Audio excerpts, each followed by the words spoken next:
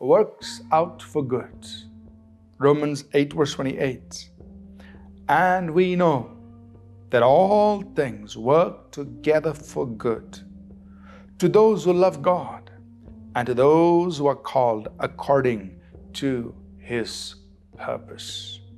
You know, here is a great encouragement for you and me as we journey through life that no matter what we're going through, as we choose to pursue God, as we choose to walk according to His purpose, as we choose to stay in our love for Him and never relinquish that, the Bible is telling us that we know all things work together for good to those who love God and to those who are called according to His purpose.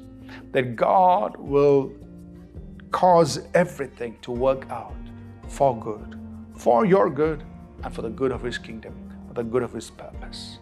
You know, sometimes we make mistakes, we make wrong choices, wrong decisions.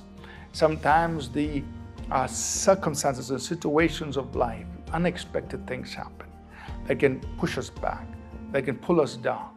Uh, all kinds of things can come against us. Sometimes people themselves do things against us. Whatever it is, I want you to choose to win.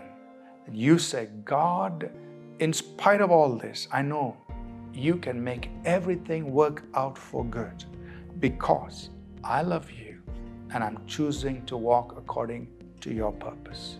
These are two things that guide me, God. I love you and I'm living for your purpose. And as I keep journeying that way, I thank you that no matter what has happened, no matter what people have done, no matter what I've faced, you can turn everything around for good because I'm following you. God is greater than every circumstance, every situation, every problem, every failure, every mistake, every wrong choice, every detour, everything. God is bigger. That's why He's God. And somehow, in His own way, in His own powerful way, in His own wisdom, He will cause everything to work out for good.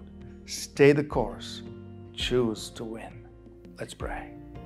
Father, we thank you that you, O oh God, will cause everything to work out for good, even as we just choose to love you and to serve your purpose. In Jesus' name, amen. Thank you for tuning in to Living Supernaturally. For more resources to strengthen your spiritual walk, please visit apcwo.org